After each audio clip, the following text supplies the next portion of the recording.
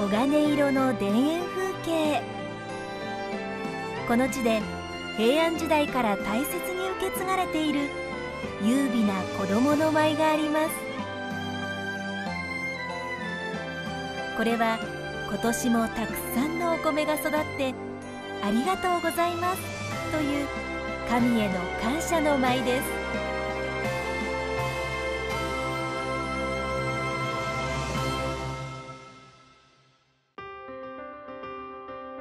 富山県のほぼ中央に位置する射水市。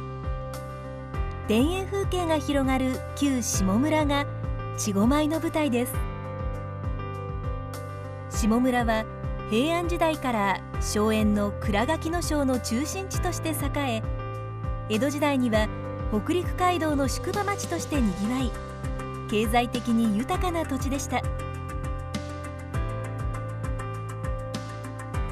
稚児舞が行われる鴨神社は平安時代後期に京都の下鴨神社から分け御霊をいただいて創建されました。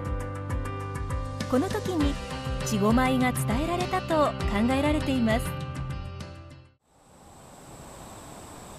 8月20日稚児の選定式と稽古始め祭が行われました。稚児は毎年氏子の子供から選ばれ年齢は10歳から11歳と決められています。背丈を比べ大内子2人と小稚子2人が選定されます。選定式に引き続き稽古始め祭が行われました。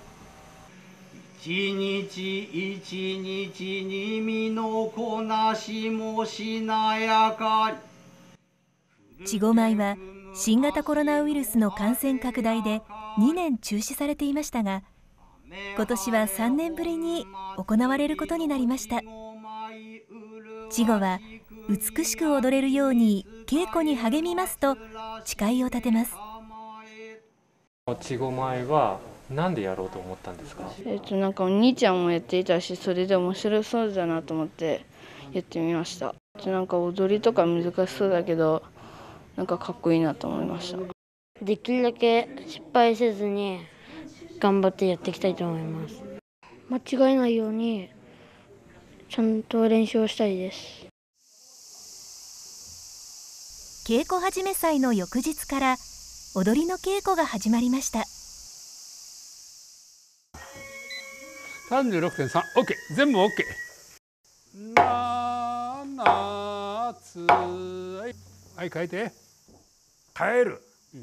稚児舞を教える師匠は五十嵐清さん76歳。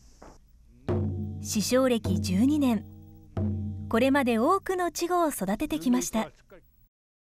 はいらどんどんどん稚児舞は9曲あり短いもので5分。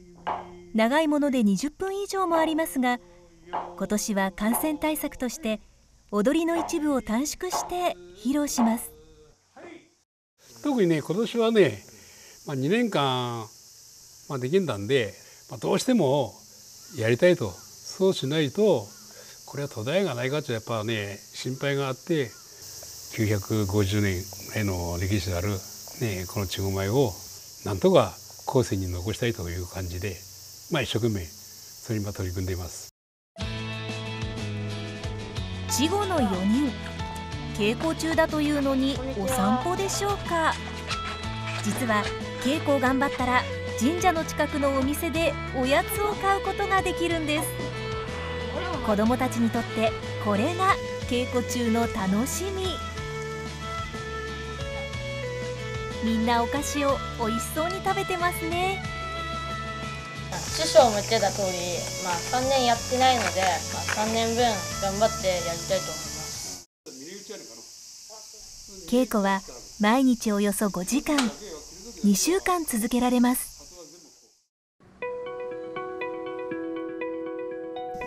9月4日。稚児舞の本祭り。自宅で入浴し身を清めた稚児が鴨コミュニティへ集まりました。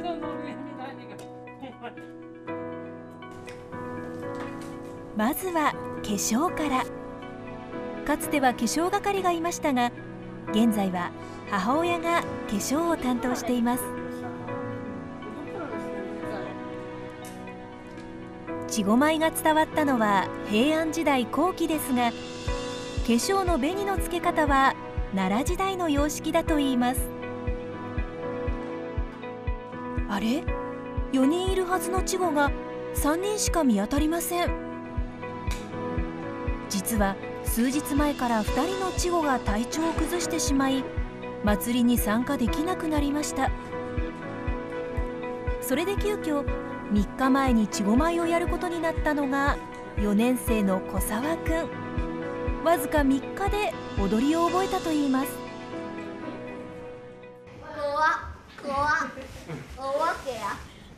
大変やったけど、まあ、全部覚えれてよかったですかっこよく綺麗に踊りたいです。いよいよ祭りが始まります。外に出るときは稚児に土を踏ませないしきたりがあります。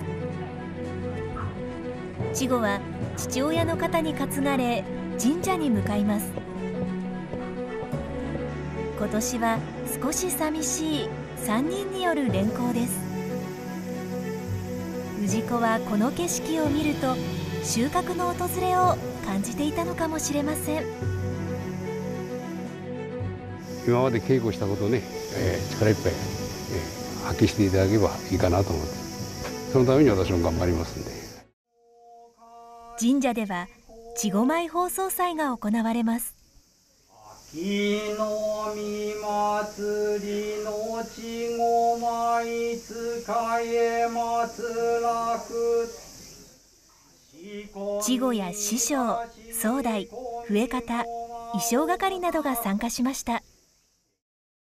堂々と精一杯神様に9つの曲を見ていただいて皆さんの感謝の気持ちを伝えていただきたいと思います。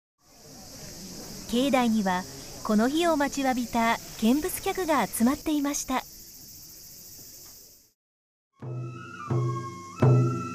最初はこちご2人による矛の舞です。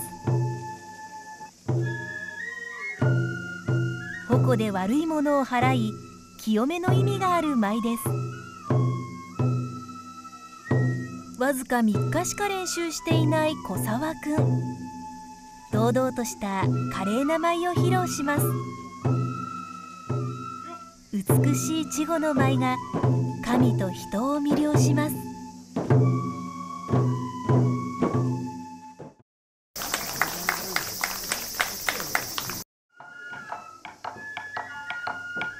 鴨神社の稚児舞は越中の稚児舞として国の重要無形民族文化財に指定されています。地元では曲の一節をとってカットンドと呼ばれ親しまれています。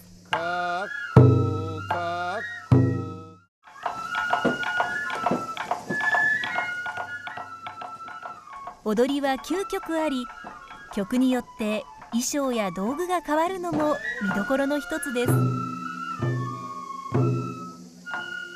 舞は髪型の舞楽の流れを組むもので純真無垢な子供が神に感謝の気持ちを伝えるための舞として構成されています。950年以上大切に受け継いできました。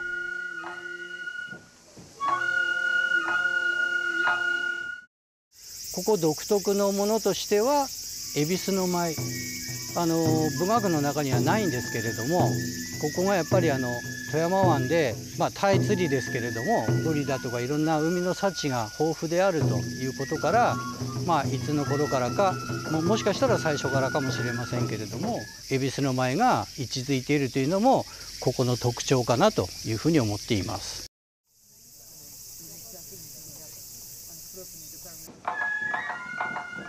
究極の最後を飾るのは梅炉です。武学の梅炉から取ったもので武士の勇壮で華やかな舞を楽しむことができます。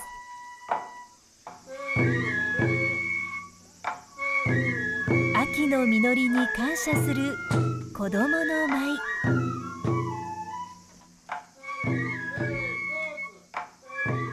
神と人が心を一つにできる時間なのかもしれません。